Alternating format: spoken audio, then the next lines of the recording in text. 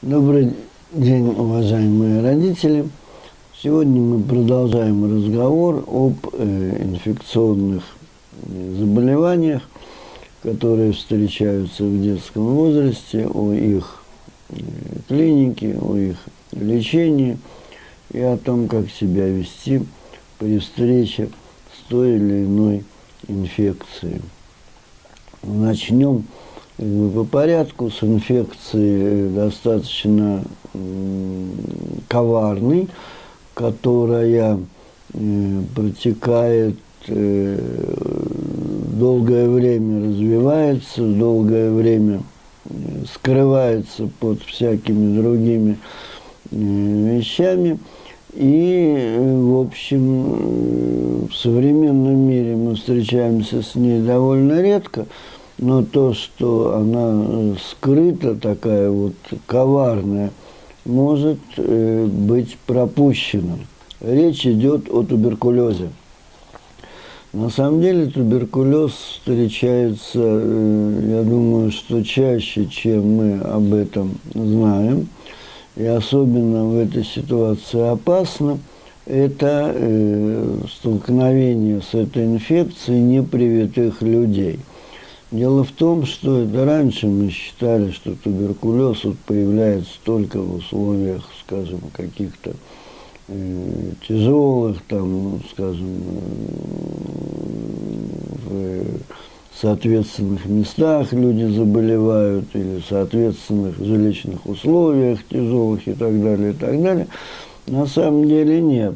И опасность, э, опасная инфекция в том, что люди э, долгое время могут являться просто носителями э, возбудителя туберкулеза. Возбудитель туберкулеза – туберкулезная палочка. Иногда ее называют по имени автора, э, ученого, который ее открыл, палочка Коха.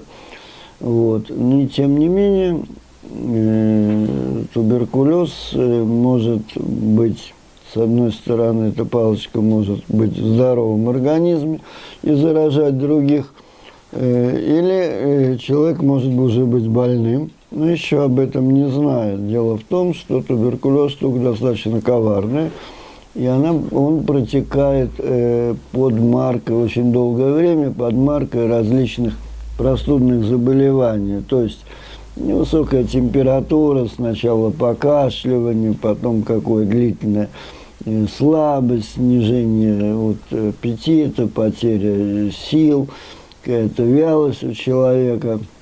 Вот, кашель все нарастает, и уже в тяжелых случаях в мокроте появляются прожилки крови и так далее, и так далее. И, соответственно, но Туберкулез может быть не только легочный, вот о котором мы сейчас говорим. Туберкулез может быть и костный, практически любого органа, и почек. И там уже появляются свои структуры, свои э, клинические проявления, свои какие-то изменения, э, вот, и своя клиническая картина. Это бывает довольно редко, и мы об этом говорить не будем. А вот о легочной форме – мы будем говорить. Почему? Потому что на самом деле туберкулезная инфекция, она э, поднимает свою голову сейчас. И вот возвращаясь к вопросу о прививках, э, надо понимать, что э, непривитые дети, они очень сильно рискуют. Значит, прививка делается в роддоме э, еще и достаточно эффективно. Кроме этого, вот э, сразу хочу, чтобы меня услышали, потому что таких вопросов очень много, и каждый раз приходится маме объяснять э, по новой, почему-то вот это не воспринимается. И существует диагностическая проба, которая э, показывает, скажем так, наличие Э, скрытой э, туберкулезной инфекции или наличие носительства туберкулезной палочки. Это проба МАНТУ, это не прививка, это именно диагностическая проба. Ну вот анализ крови вы же не считаете прививкой, поэтому в данном случае это тоже. Это проба, которая вводится, берет, делается на предплечье, подкожно, и по э, диаметру вот этой пуговки, которая образуется, определяют, есть ли в организме человека э, палочка туберкулезная. Человек может не быть больным, вот, но быть носителем и, соответственно, заражать. Поэтому э, эту диагностическую пробу делать надо. Это в интересах э, вашего ребенка. И вот по определенному графику она и может быть э, проведена. Никакой реакции, никакого э, ухудшения состояния ребенка или никакого изменения она не дает. Единственное, что э, пробу МАНТУ не надо делать сразу после болезни ребенка, хотя бы две недели должно пройти, иначе анализ, э, ответ будет не совсем э, правильный, то есть он будет э, смазан, она может быть увеличена из-за э, совершенно по другим причинам. И очень важный еще один момент, об этом э, часто забывают предупредить э, в поликлиниках, где делают эти пробы – Э, место совершения пробы нельзя мыть. Мыть, тереть, расчесывать, вот это вы должны следить, потому что э, изменение вот этой вот э, пуговки папулы, да, так называемой, она может быть совершенно по другим причинам. И те, кто не знают, что ребенок, скажем, расчесал, поэтому эта вот пуговка большая выросла, вот, и поставят вам диагноз, начнут обследование, совершенно не, неправомерная, ненужная причина совсем в другом. Поэтому за этим надо следить. И не надо этого бояться, это в ваших интересах. Так что вы должны быть э, очень э, ну, как бы положительно настроены на проведение такой диагностики. В случае, если э, вот эта реакция МАНТУ э, положительная, нужно обращаться по месту жительства к соответствующим специалистам и разбираться, в чем причина. Может быть причина в аллергической реакции на вот, туберкулин, который вводится подкожно. Может быть э, причина в э, том, что у ребенка есть носительство э, палочки Коха, туберкулезной палочки. А может быть, есть причина в том, что ребенок уже э, заразился, и вот скрытый, скрытый период э, протекает, поэтому чем раньше будет начато лечение, тем э, быстрее будет положительный эффект. На сегодняшний день есть обширная группа препаратов, которая очень хорошо справляется с туберкулезной палочкой. Вопрос только во времени. Чем раньше начинаем лечение, тем быстрее мы достигаем положительного результата. Но это, я надеюсь, э, нашим с вами детям не грозит, но об этом нужно знать. Теперь э, следующая инфекция, о которой мы поговорим, достаточно тяжелая – вот, они, э, скажем, там целая группа даже таких инфекционных заболеваний, вот, э, довольно часто путается э, понятие, а это понятие принципиальное, потому что разное лечение.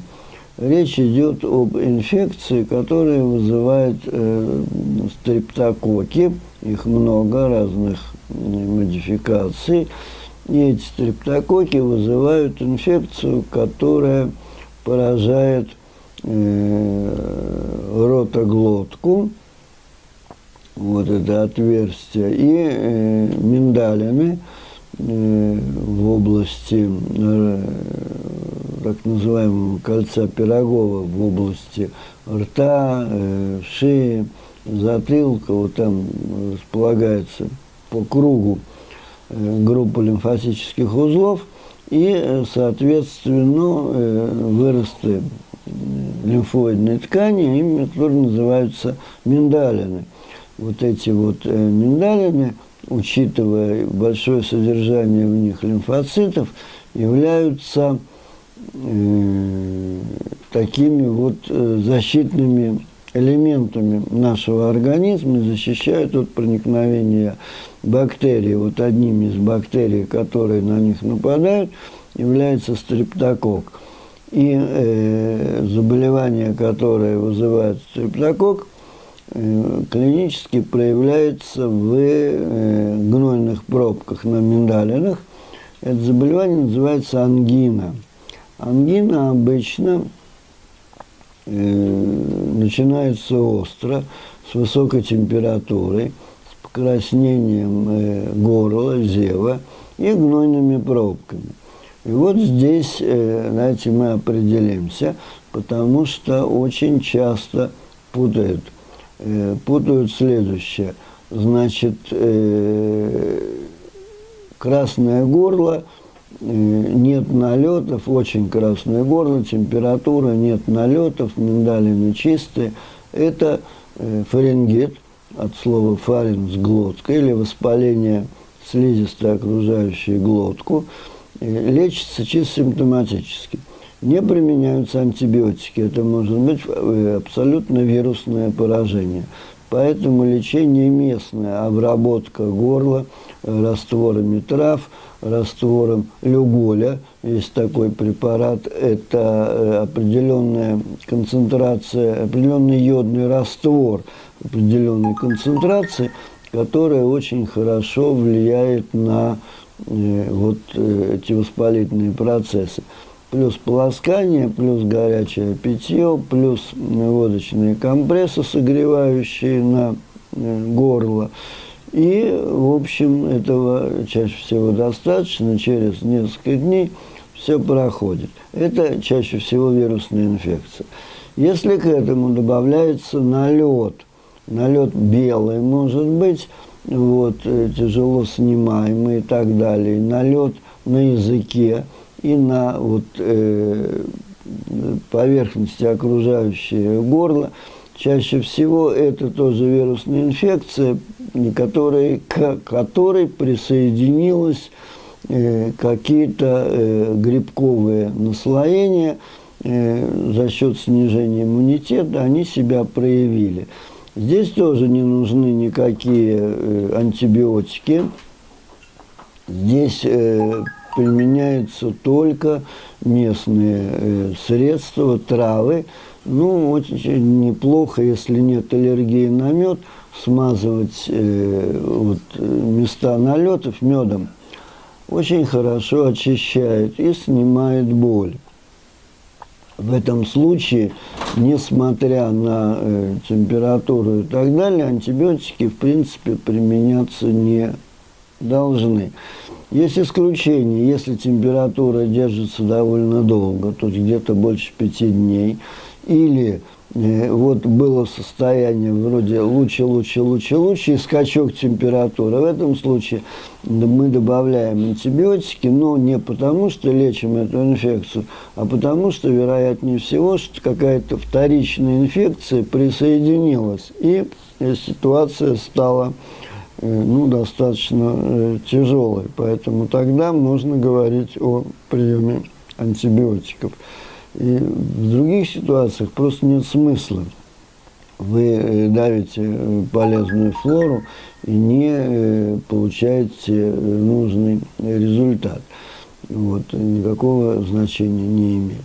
А вот когда, возник, когда присоединяется инфекция стрептококковая, вот тогда меняется лечение. И об этом мы с вами поговорим на следующей нашей встрече через какое-то время. Так что, как говорится, не переключайтесь, берегите себя и до новых встреч.